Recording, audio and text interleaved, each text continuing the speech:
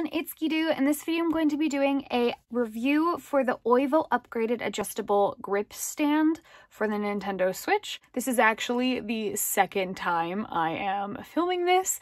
The visuals somehow got corrupted when I filmed this last, so I unfortunately lost that video. The audio was fine, but for some reason there was absolutely no picture and I was very upset and it was super late at night, so I went to bed. Here's what the box looks like here. It does come with these thumb grips right here, so you can use those if you so like. I am personally not a huge fan. So what's cool about this grip is, like the Satisfye grip, it has asymmetrical design, and as you can see here, it also holds uh, five games in the back of it and it has a stand and it's an adjustable stand as well. So that is the box here. It also shows a little bit more there and just some extra info. So here is the grip itself. Here's the back. I'm actually going to compare it to the original Satisfye grip that is right here. And I'll let you guys know which one I prefer and what things I would maybe like this one to adopt in the future. So one thing I really do like about this grip here it's only like $20 or $21 Canadian, where the Satisfye grip with the case, which I originally bought, I believe cost me like 80 some dollars. And I really wanted a different grip because the Satisfye grip did not do it for me, so I found this one online. It is actually a fairly new grip. They do have one for the Switch Lite if you were interested in an asymmetrical design for the Switch Lite. I know Satisfye also has one, but these are just far more affordable if you can't quite justify picking up a Satisfye grip, especially if you are international, as I am in Canada and Satisfye is from the States. So one great thing about this is it's got these rubber grips here to keep your Switch um, gripped properly, but also not scraping along this that much. Although if you are worried about scraping, I'd mostly worry about the front here. Anyways, let's talk about pros first. This guy here fits the Switch great with skins, which makes me very happy because um, the thing with the Satisfye grip is it doesn't fit very well with skins, like it's too, too tight. But this here, as you can see, the asymmetrical design, this guy right here sits out at more of an angle so that your thumb sits on the right joystick a lot better without being cramped. Um, and as, as you could see, when I hold my Switch, normally you can see how my thumb sits in like a really weird angle. So I'm quite cramped. So whenever I'm trying to aim in games, I find it very annoying and I just don't have the same control with my thumb being in this position than I do when it's sitting like properly. So sliding this back in here, as you can see, slides in great. It does have a little bit of like, like it'll slide a little, not much, but it can slide a little, which is why they do have this thing up here. So you can clip this down on the top and then you have a secure grip for the Switch. And again, you have these kind of curved, as they call them, ergonomic handles to make it feel more like a Pro Controller. But this here is just plastic, so that is something to keep in mind. It's not um, a rubber grip or anything. And these are the game slots right here, which I will show you in a moment. But this is more or less how the grip works. What I really like about this grip though is that this is still at an angle, so I still get that nice angle with my thumb, but at the same time, it's not too big for my hands. I have fairly small hands, and I find that the Satisfye grip is a little too large for them and my hands actually start to cramp up quite a bit when I use the Satisfye grip. Or this one, I've noticed it's a lot more comfortable just to sit and hold and not have to worry about like holding these gigantic grips that my, like I said, my hands just start to cramp up. So that's something I really do like about this. And the fact that it fits with skins is great because of course, as you can see, I have skins on my Switch. And then you have this lovely feature here so this is a stand. I personally don't use the grip closed like this on my Switch because it does leave indents in my skins here where it's sitting and I'm not a big fan of that. So it's not really a big deal though because I can normally just have it kind of there and it doesn't really get in the way when I'm playing or anything. And because I'm not holding the Switch upside down, my Switch isn't going to fall out. So it's not really that big of a concern. This does have a little rubber pad here so you can use it as a stand for your Switch. But the great part about this, especially in comparison to the Satisfye, is that you can change the angle. So it's completely adjustable and you can almost go flat. Not that you necessarily want it to go flat, but if you are playing in tabletop mode, which this does actually show that you can play in tabletop mode like this by just sliding out your Joy-Cons, and then you can just play like this in tabletop mode. I don't really play my Switch in tabletop mode that much, but for people that do, like it's a nice little extra stand. Gives you different angles where the the stand on the Switch itself, it's it's not it's not the best kickstand. And they just slide back on in super easily. And again, you're still getting this nice angled grip at a much cheaper cost than Satisfye. So I definitely, definitely have to recommend this thing. Like if you're looking for a grip that is very similar to Satisfye, um, take a look at this one. Uh, this is definitely not sponsored or anything. I just really wanted a different grip than the Satisfye one because I wasn't very satisfied.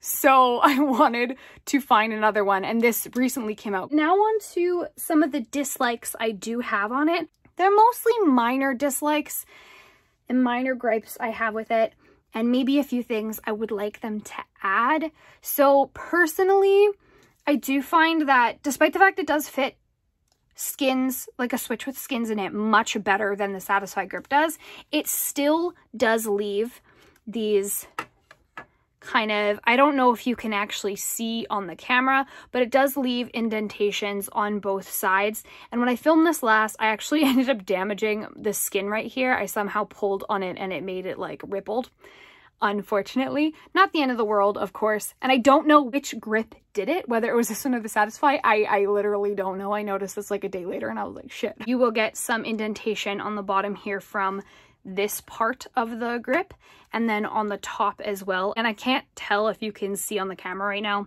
but that's something to keep in mind. If you do switch skins, they could get damaged, but if you still want a grip, I feel like any grip is going to end up damaging the skins in some capacity, but this does less damage than the Satisfye grip does. This could potentially be irritating to some people.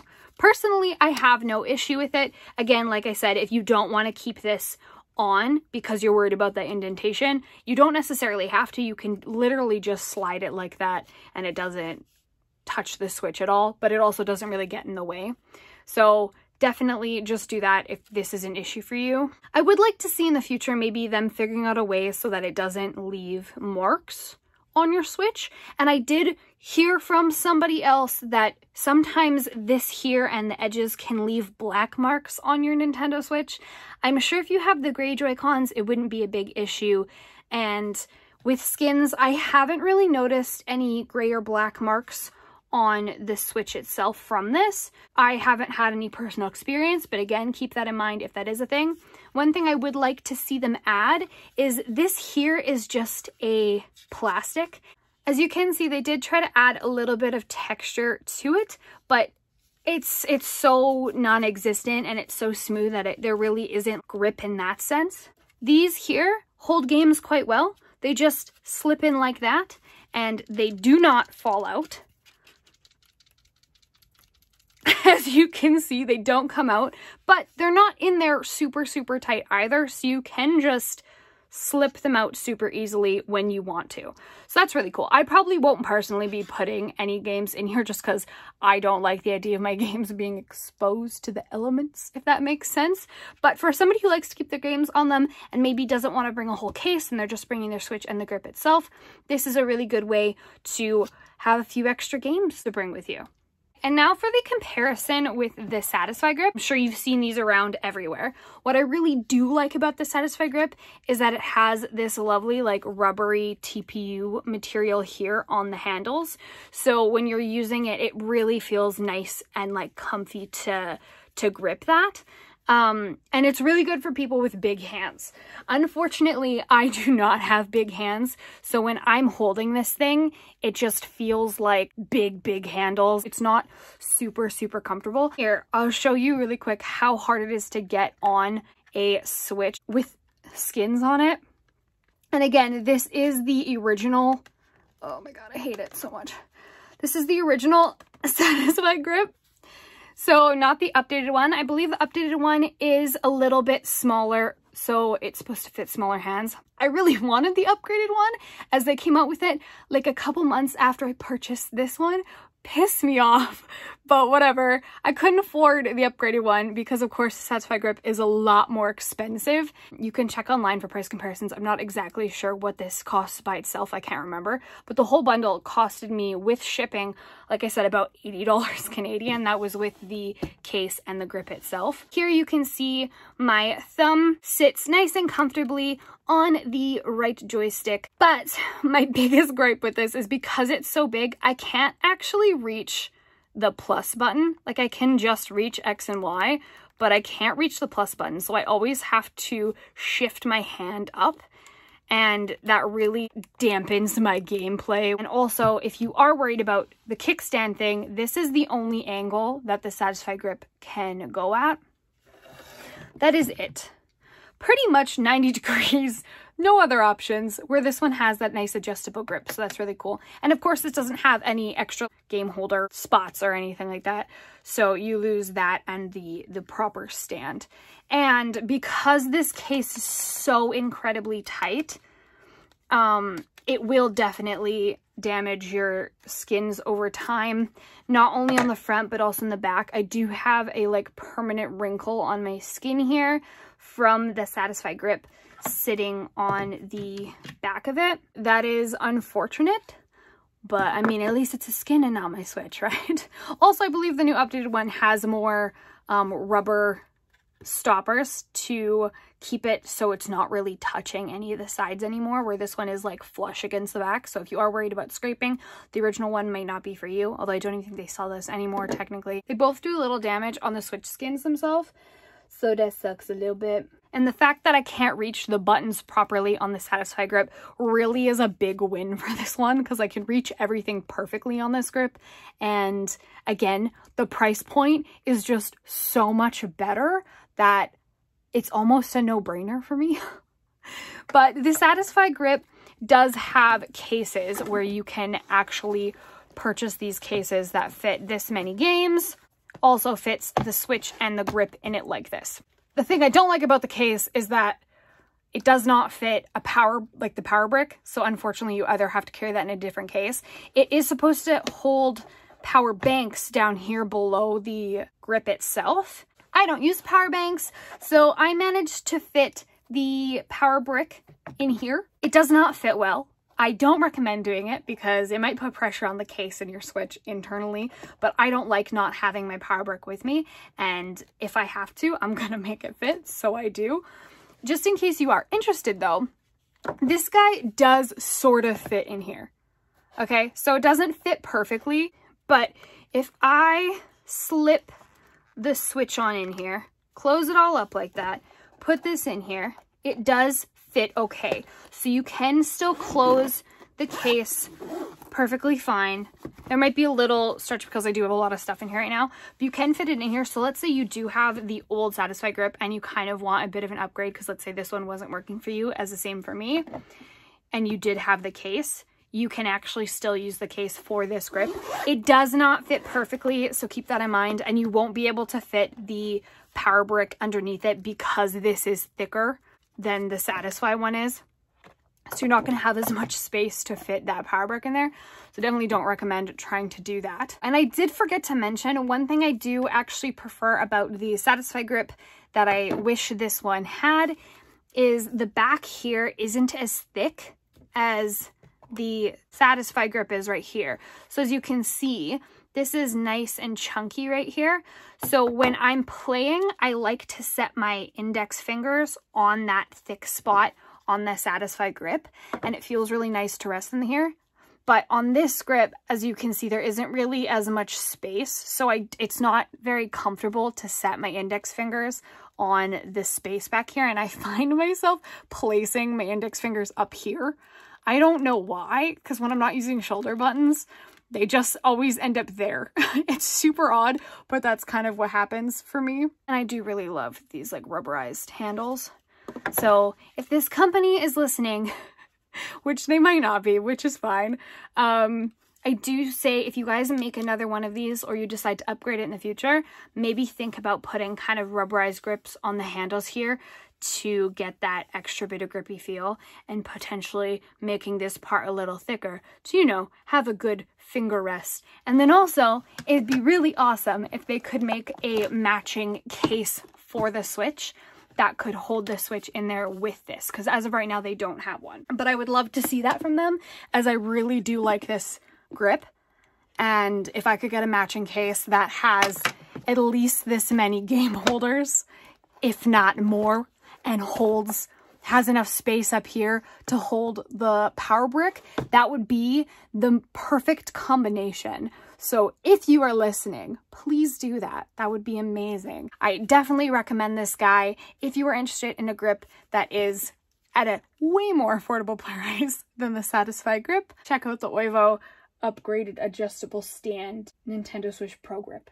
I, at the moment, can't seem to find the thumb grips for this. I think I misplaced them in my room somewhere. I'll find them. They're pretty simple. Um, I would say they're not my favorite. I prefer more tactile and like grippy thumb grips, something with a little more texture, and both of them are actually quite smooth. I'm not a big fan of the thick ones anyways, but both of them are very smooth, so I find that my fingers slide a little more than I would like.